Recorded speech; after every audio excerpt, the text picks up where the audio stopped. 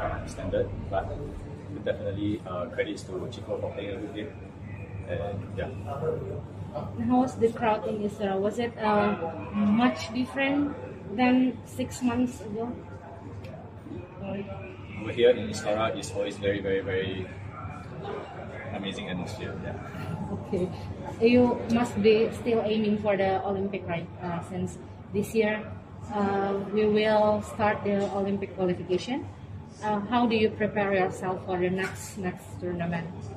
Mm, for now, I'll just rest first, and then I'll go back and start training again after. Yeah. Do you have any uh, specific tournament that you targeted Mm, for the title? I mean, I just take one one tournament at a time, one match at a time. So for now, it's just rest, and then the next one will be the Asian mixed team in Dubai. Yeah, that one first, and then after that, yeah. Was during the whole what happened? Uh, I mean, he got a lot of lucky shots. He hit a lot of net roll. Yeah, and I mean, there's nothing I can do.